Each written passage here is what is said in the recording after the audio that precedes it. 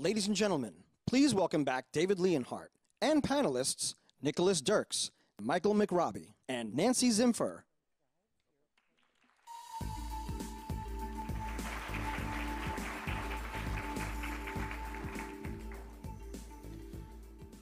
Thank you all for coming. So we have represented here three of the biggest and best of our public flagships. Um, uh, and I want to start a little bit where we started yesterday, which is I know you all, in different ways, are thinking about this question of how to get kids to succeed. Um, and Chancellor Zimpher, I'm going to start with you because I know SUNY's really engaged with this. I talked about this last night. We've got a lot of colleges with graduation rates that when you look at them, you sort of wonder, wait a second, why is the graduation rate 60? Uh, why is it 55? Why in some cases is it 40? Some of the best places, why is it only 80? Um, why aren't graduation rates higher? And um, even though a lot of that problem, I think, comes from K-12 and a lot of it comes from lack of funding, what can higher education itself do to try to improve the situation? Well, um, I don't do well with higher education itself. You know, I'm really committed to the relationship between early childhood, K-12, and higher ed. And a lot of the challenge is the pipeline leaks from the very beginning, and we don't take the opportunities to fix uh, a, a learning problem when it occurs. Thus, we invent this thing called remediation, which is a trap door for students. You go into remediation, the more of it you take, the less likelihood you are to graduate.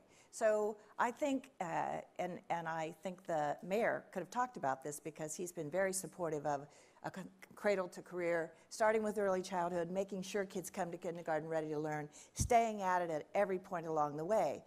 Um, when we don't do that, we get what SUNY has um, been challenged with for quite a while, which is millions of dollars spent on remediation, and it's still not a gateway to success. So I think the answer to the question is we have to be smarter about what works. We have to be very focused in using approaches to math pathways and to online advising and to uh, how to help students know how to pay for college. And we have to collect data, we have to use evidence-based strategies, but more important, and this is something that SUNY can do because it's big, we have to weed out what's not working, the thousand points of light that everybody loves because they've always done it that way. Use some form of continuous improvement to stick with the things that work and then take what works to scale. I think we can bump our numbers significantly, and we've made a very public pledge to the state of New York that we will increase our 93,000 degrees to 150,000 over the next five years, doing primarily one thing being very clear about what we're doing that works and making sure what works is accessible to all students. That has not been the case. We've been very, uh, all of us really fixated on access and we forgot to pick up the other thread, which is, are you getting through the pipeline?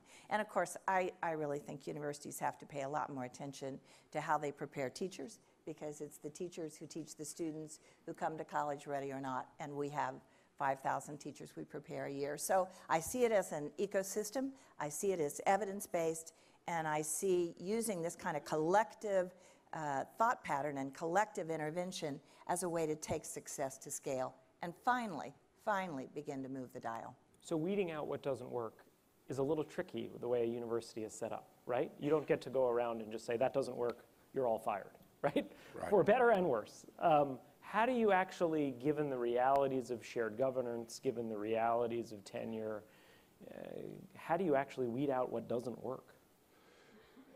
Well, um, uh, what you say is exactly right. Uh, you, you, it's not like in business or industry where you can say, we don't want this division anymore and, and get rid of it. I mean, it, it just doesn't work that way.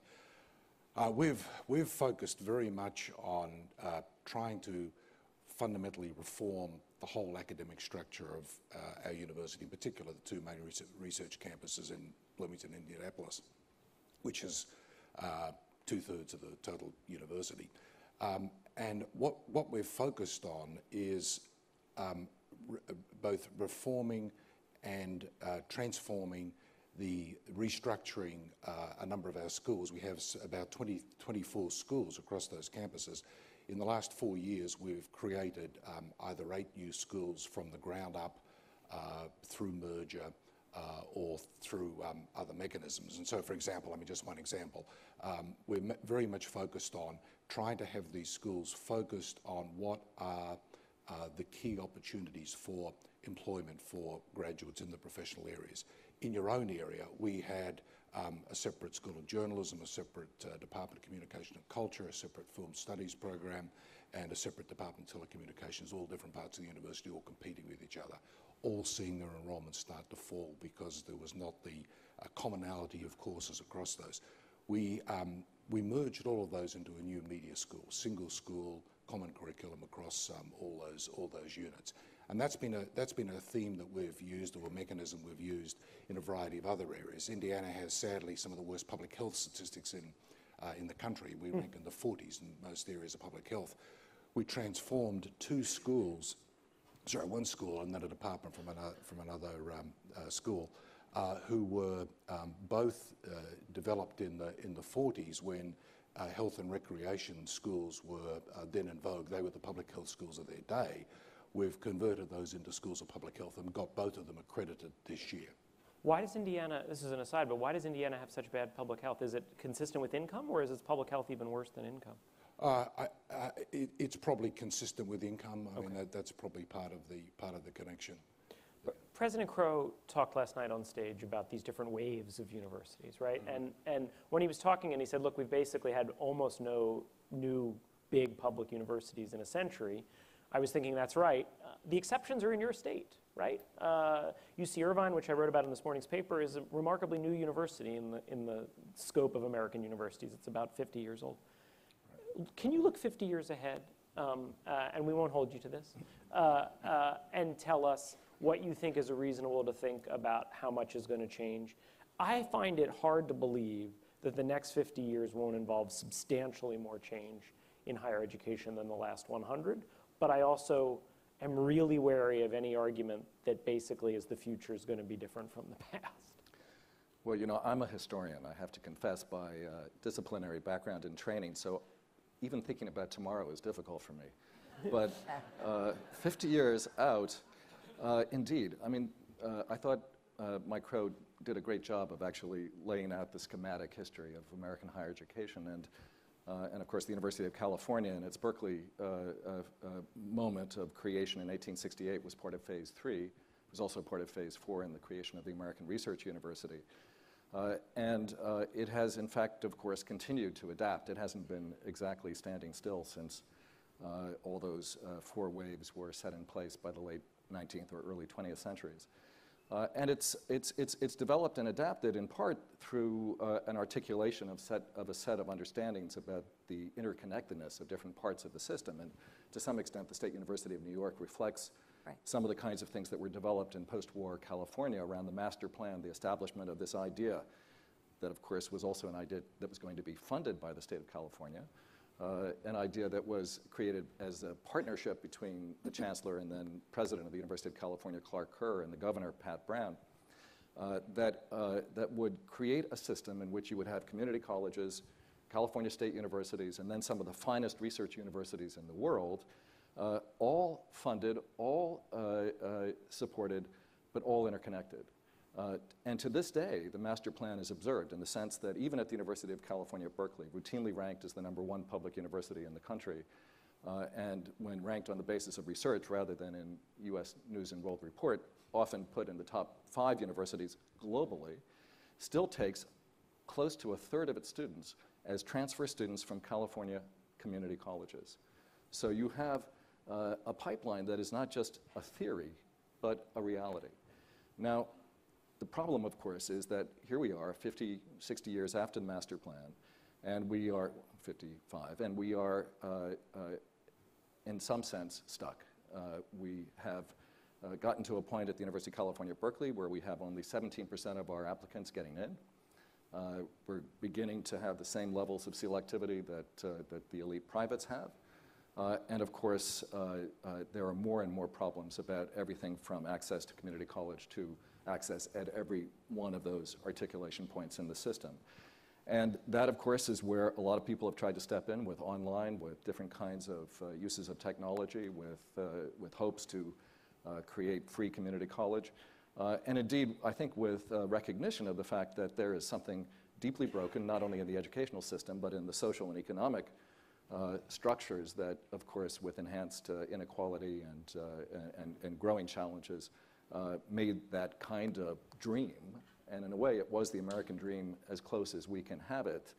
Uh, and to some extent, in California, as you showed in the morning's paper, still is, is still vastly insufficient for the numbers of students who are going to need not only education, not only to graduate, but also access to the very best universities in America. And that kind of issue, I think, is one that uh, we in California are worried a lot about. We insist that you can have access and, ac and excellence. But what we really are concerned about, certainly in a flagship university, is that there be access to excellence. And not just through the great private colleges and the great private universities, which do fabulous jobs, and we heard about that last night. But again, with questions of scale, I'll just give one statistic and then I'll stop. But if you take Berkeley and UCLA, the two top ranked public research universities in the country, and you look at the number of students on Pell Grants in those two universities, it's more than the top 15 private colleges in America. That's all the Ivy League plus seven others. It's uh, a question of scale, as we discussed, but even there, the scale is vastly insufficient to deal with some of the challenges we have ahead. So, as I've tried to, as I've tried to ask in different points last night and today, clearly I think there are ways in which higher education could become more efficient, could become more effective, weed out some, some real problems in it. But it's also the case that higher education of the scale we want probably involves more investment, more money, right? When you think about what California did with the master plan, California spent a ton of money to build UCSD and UC Irvine when its, when its population was, explosion, was exploding. You said we're stuck. And I think to some extent as a society, we are stuck, right? People really want their kids to get educated. And yet, there seems to be no path politically to the idea of building a college system that's actually supported with public money. You all spend a lot of time thinking about dealing with your legislatures. I don't expect you have any magic answers, but how is it possible that public higher education can get to the point where rather than fighting off cuts, it actually is persuading citizens and legislators to invest? What does that look like? I, I I think we just keep saying the same thing over and over again. We've been cut, replace the cuts. We don't package what our capacity is in a way that makes explicit what the return on investment could be. So uh, you could probably say SUNY is really guilty of this as well. We've, we've given all the facts, we've painted the picture. Uh, it seems like the more we increase our enrollments, the more we get cut. There's an inverse relationship. But we took a new tactic this year.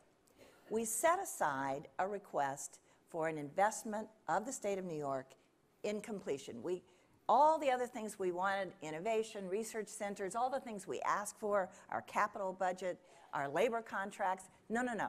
One thing we can do for you, the state of New York, which is unequivocally answering the degree ready uh, workforce, which is arguably still the, the brass ring, and we asked for $50, $50 million over five years, 50 million each year for five years. We didn't get 50 million, let alone five years. We got 18. But we've never gotten 18.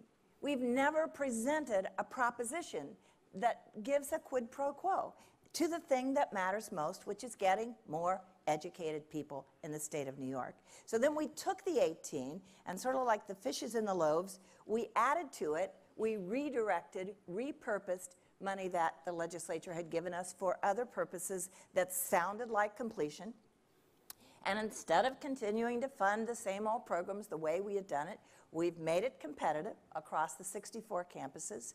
We opened the gates and asked each of the campuses to tell us what their evidence based intervention, back to what I said earlier, this is a very refined strategy. We got 211 proposals from 64 campuses, and many of them were in partnership.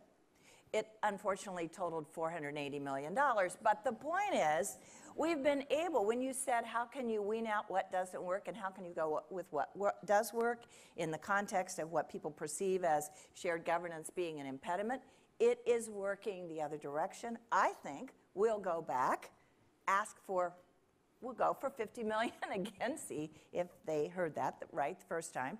And we are building uh, an accountability system that people can track the progress. And so, uh, shamelessly, uh, about six weeks from now, we'll be back in this center with a national conference called Building a New Business Model for Higher Education.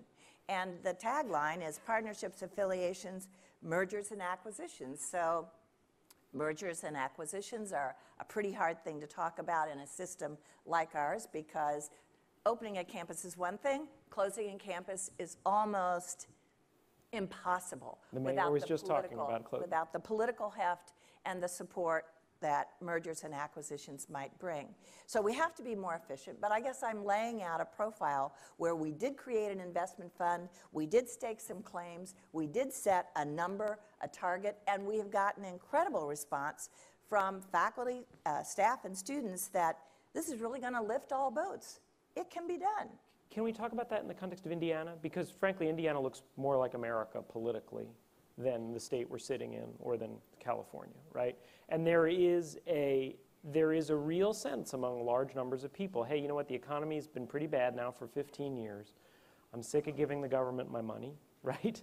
Um, uh, Indiana is sort of a purplish leaning red state, right? You have one Democratic and one Republican senator, but you have a you have a lot of the sense that really most states now have today, which is enough with sending our money to the government. Given how many people feel that way, how do you go about saying to people, "Yeah, I know you're frustrated. Yeah, I know you're worried about waste."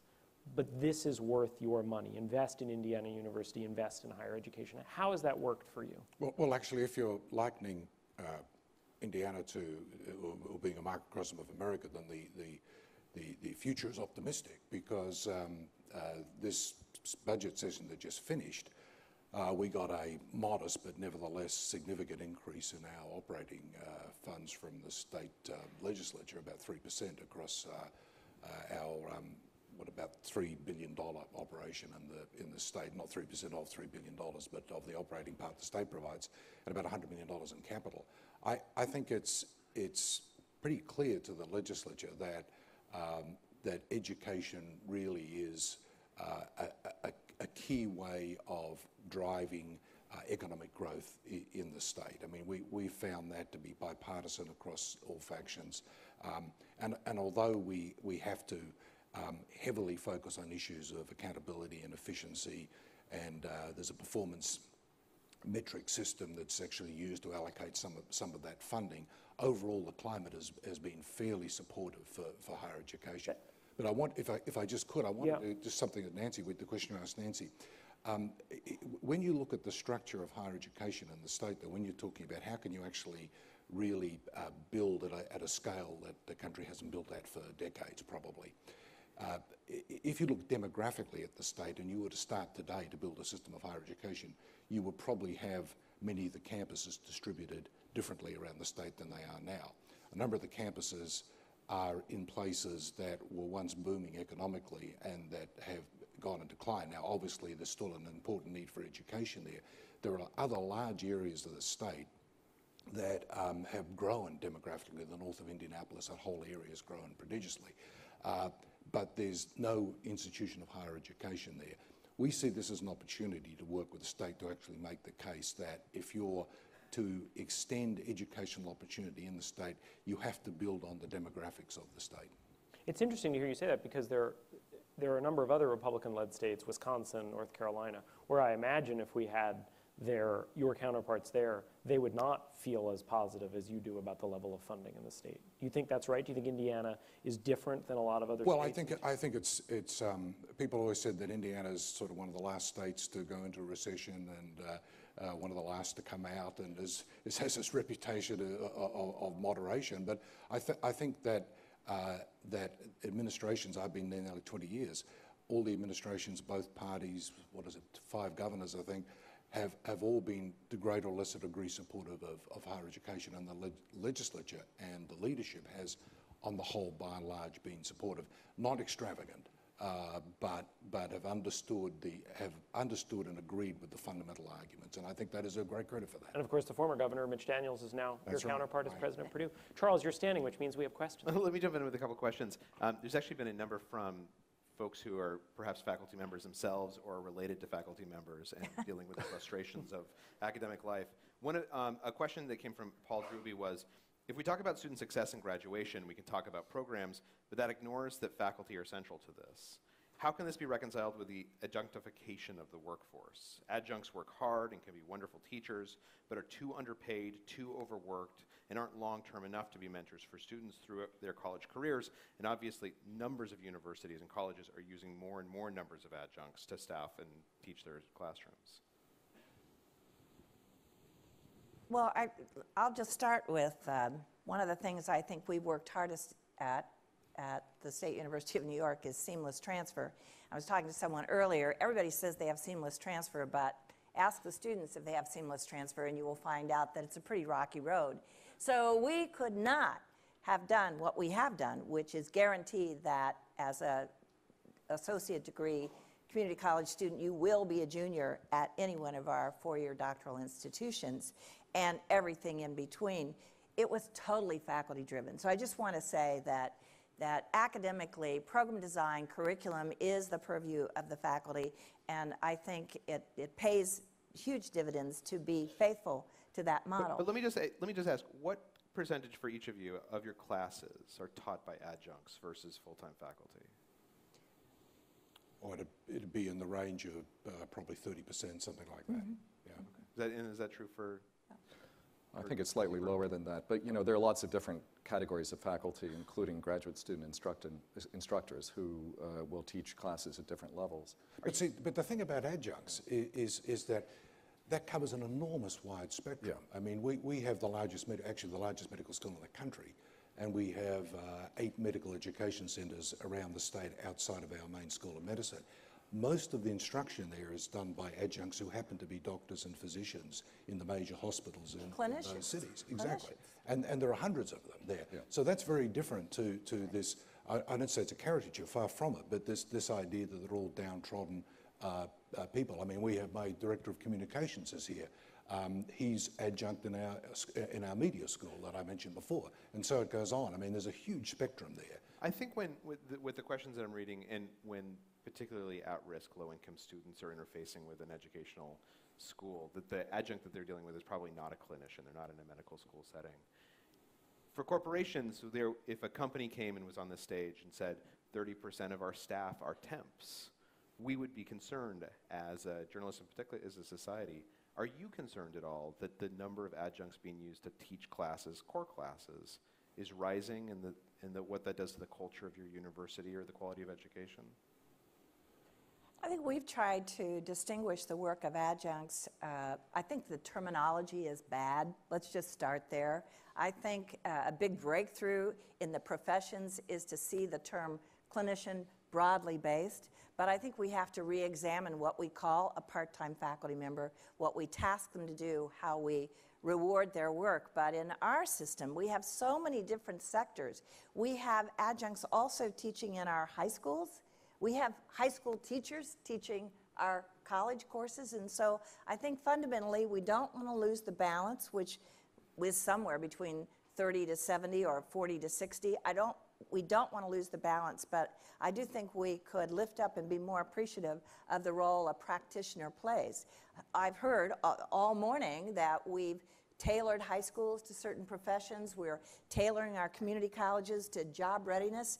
Many, many ma- of the people who are helping with our curriculum work in those industries. So I think we have to sort of recalibrate what it means to be an adjunct, probably change the terminology, probably lift up the quality, and we're seeing activity on that front, certainly at, at SUNY. Are there any questions from the audience? Sure. We have a mic coming down to you. Yes, I'd like to ask uh, President McRobbie about the extent to which the legislature is supportive of research at the flagship universities. I'm at the University of North Carolina, and I sense that our legislature is not enthusiastic about research uh, on the campuses? Well, it, it, it's, it's been supportive in a, in a couple of ways. F- firstly, through, um, again, moderate in the scheme of a very large university, but nevertheless increases for capital projects. And um, most of those capital projects uh, are going to support um, uh, research uh, organisations and, and uh, units within the, within the university. Um, we, uh, for example, um, uh, we've got a significant number of appropriations for buildings in our School of Medicine and the other health sciences schools from the legislature, and they understand that this is focused very much both on the educational side of what they do, but also on the research side. There have been a number of uh, appropriations made to support research, not in a in a major way. Uh, we have a uh, a new um, uh, uh, a biological research initiative in the uh, in the state that was. Um, that was supported $25 million in the last budget uh, by the state. So it's not, it's not uh, massive money, but it's significant money, and it certainly helps us move the needle in a number of these uh, projects. I mean, again, I think we've made the, we've made the case for why research has an impact. I've gone in with um, other presidents around the state, made the case to the legislature. They like to see that unity among the institutions. That's a very, very effective point politically. Right. But it's a great question because the, uh, the question of, of, of support for research, especially in the kind of debates that take place around public higher education, are, are, are, are deeply challenging right at the moment. Uh, uh, virtually all of the attention paid to uh, the budget wars in California over the last year and the uh, negotiation between the governor and the president of the system uh, concerned uh, uh, the numbers of California students, uh, the efficiency of our uh, educational offerings, and, uh, uh, and of course, uh, any kind of uh, inattention to teaching was seen as somehow frivolous, which is to say the research operation didn't even appear, except in some sense, as an absence. So uh, we have been uh, repeatedly trying to both address uh, state legislators, the governor, the public about how research uh, implies a return on investment that is probably the best investment the state is currently making. Uh, and it's a very difficult argument to make. It doesn't resonate across uh, the kinds of political constituencies now that, that concern themselves. And this is of growing importance, of course, because uh, as, uh, uh, you know, as, as, as budgets go down, uh, University of California overall lost about 30% of its funding in the last 10 years. Berkeley alone has lost 40% of its funding. Where does that federal support, where does the research support come from? It comes from a flat federal budget, comes from uh, uh, uh, increasingly from private gifts, contracts, and, and, and grants of one sort or another. But that, of course, is part of a transformation in the whole funding structure that we're dealing with and in the kinds of gestures towards partnership and how to fund, how to support, how even perhaps to expand some of our great uh, uh, public research universities. Uh, increasingly, we're turning to the private sector in a way to say, you know, you benefit from the training that we give students, you benefit from the research and development that we do. You, in fact, are the primary uh, beneficiaries. And, and, and even in Northern California, where everybody thinks at Stanford that has single handedly generated the innovation and prosperity of the Silicon Valley, uh, if you actually go down and look and see where people got their degrees, many more went to Berkeley. And uh, you know, we have 750 graduates of uh, top three rated computer science department at Berkeley, uh, 225 come out of Stanford. This is not a criticism, it's just about, again, the question of what the impact is overall uh, and what the, uh, what, what the stakes are for states in thinking about uh, uh, the need to support research at the fundamental level. And in computer science, everybody in Northern California understands that, but in terms of basic research, Let me piggyback on that. there is a you know, kind of public commitment that states and the federal government have had to research that is, we don't know what it's going to be uh, doing. It's very hard now to make the case for basic research. It's more important than ever that we do so. What's stolen your money? Meaning, as University of California funding has gone down, what is it because uh, tax revenue has gone down in California, or is it because are there other things where the, the spending has gone way up, and what are those other things? Well, there was Proposition 13, But, but that was a long time ago, right? but it set in motion what everyone knew at the time was going to be a steady problem for funding both education at the K through 12 level and higher education. But the, uh, uh, you know, the, you, you said it last night. Uh, there was a time, uh, I think 30 years ago, when uh, 2% of the state budget went for prisons and 9% went for higher education. Now, 9% goes for prisons and 2% goes for higher education. There are lots of needs across the state. And I think you know, what we need to be able to acknowledge uh, is we're probably not going to get a bump back up to the levels of funding that we used to get. We're just not going to go there. But what that has done, of course, is to mean that flagship universities increasingly, of course, take students from out of their states. We all do this to pay a higher level of tuition. It's still less than the privates, but it's substantially more than in-state students pay. And arguably, they are helping to fund California students who are students from any given state. And of course, in turn, what that does is generate a, a real sense of disenfranchisement on the part of the residents of California who say, look, I can't get my kids into the University of California anymore. They're being taken by people who will pay more. If I pay the same amount as they do, can I get my kid into? And then you get this kind of invidious cycle in which uh, various forms of grievance collect around uh, uh, the kind of funding strategies that we are adopting pr- by necessity. Uh, and so uh, this then, in, in, in, turn, I think requires us to, to make a better case for what we're doing, but to acknowledge that we're going to have to seek multiple sources. Yeah, uh, I- ask I- business to I step up. apologize Yeah. for that. Let me, let Yeah. me interrupt. Unfortunately, we're out of time. sorry. Thank you all so much for your participation and for the panel this morning. We Thank you. enormously. Yeah.